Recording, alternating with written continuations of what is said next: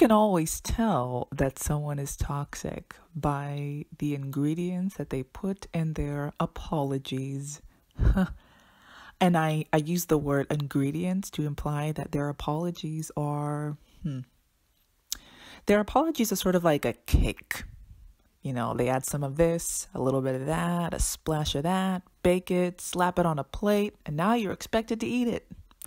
It is a toxic mix of empty, sugary BS and fluffy platitudes with a hint of salty malintent while mixed in very nicely so everything rises nice and high and you never know what's in it until it goes down. Healthy people with genuine regret for their words or actions don't have to concoct an apology. They merely speak from the heart and change their behavior subsequently. On the other hand, toxic people like narcissists and borderlines and psychopaths and other toxic people have a polluted heart. Uh, and it's full of their unfulfilled needs and false self. Thus, they're they're forced to dig deep in their arsenal of observed functional behavior, which basically means all the things that they've seen you do that have been successful and that look relatively normal and they sort of use that to manufacture their own genuineness and their own sort of fake and fake regret or repentance. So here are what I would say are the five basic ingredients to a, a toxic apology. Starting with flattery.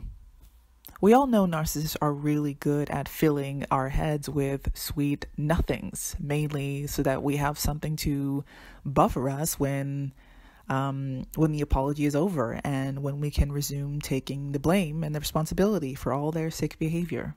But flattery during an apology is basically the short and intensified version of the love bombing phase you had at the beginning of the relationship when you were unsuspecting and unassuming. I mean, you remember how they stared into your eyes and they told you wonderful things about yourself and oh, they told you, you know, you're you're the best thing that's ever happened to me and you know I want to be with you forever and I would I would never hurt you ever and and then during this time they basically say the same thing. During the time when you're in an argument and they just want to basically get you to shut up, they will in, enforce this flattery onto you, you know? Like I would I would never hurt you on purpose. You mean everything to me. No one compares to you. I'm willing to give up everything to get right with you again. My heart is yours and no one else is worthy. Blah blah blah. You can fill in the blank with all the BS your former toxic partner ever said to you. And basically that's that's how you know that they're toxic because they feel the need to have to buffer you, to flatter you so that you would believe whatever they want to say next. None of it is real. They think they mean it genuinely in the moment because of the intense feelings they have at the idea of you leaving them for good. But because they don't have the proper faculties to generate things like empathy and genuine love, their words are empty and thus meaningless. So when their flattery doesn't melt your walls like they would like them to, and you start arguing with them, you know, like a normal person because what you're saying and what they're saying, they're not they're not hearing you, they're not agreeing with you, they don't see your point of view because they really don't want to and they have no intention of changing.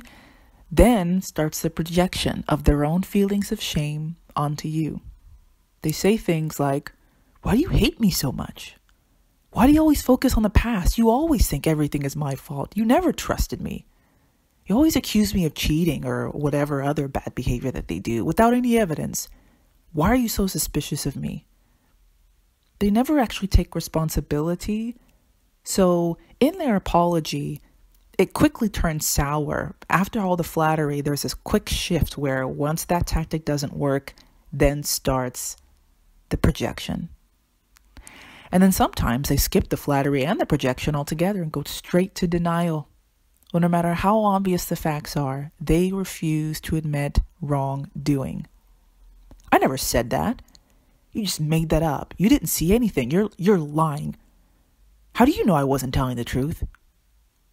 even lying about their regular day to day behavior, activities. They really do want you to believe the BS that they're telling you, which then bleeds into blame, where they somehow make your reaction to their bad behavior more criminal than their actual behavior. If you can believe it, this is this probably takes the cake because it's sort of like I don't know if you've ever experienced this while you were in grade school, but say you know someone, eh, say you're in class and someone behind you takes your pencil, they snatch your pencil and they steal it because they really wanted to look at it and they really like it. So they take it and they say, "Oh, this is so cool," and then you say, "Okay, that's great. Okay, now give it back." And then they refuse to give it back. They're like, "No, I'm still looking at it." And you're like, "Give me my pencil back." and they refuse. And then when you get upset, they laugh at you. They're mad at you for your reaction to their bad behavior. It's the same thing. It's just as immature, just as childish, because we all know narcissists on the inside are deeply childish. They have not recovered from their own childhood trauma. So they blame you and they make your response to their behavior more criminal than their actual behavior. And then, lastly, of course, all of this, all of this contributes to their gaslighting. Whether it be lying about what they've been doing, whether it be telling you that you feel something that you don't actually, accusing you of never trusting them, of never loving them, that's gaslighting. Gaslighting, in a sense, is changing the way that you see reality, forcing you to believe into something that is not true. Painting a world in a way and forcing you to believe into it fully. All of this is gaslighting. All of this is their way to control you. And after an argument, what happens? Nothing changes. They don't become a better person. They don't suddenly become wise and say i'm sorry you know i i i shouldn't be doing this. I i know i'm wrong. I just i just can't help it. No none of that changes. They do the same thing. They don't change. They don't grow. They don't mature. They don't get wiser. Their apology means nothing. That's why it's so empty. And you realize wow so that's what a toxic apology sounds like let me know your experience down in the comments of any sort of argument or apology that you've received from a narcissist of just basically how ridiculous they see the world and how they force you to see the world in the same way they do.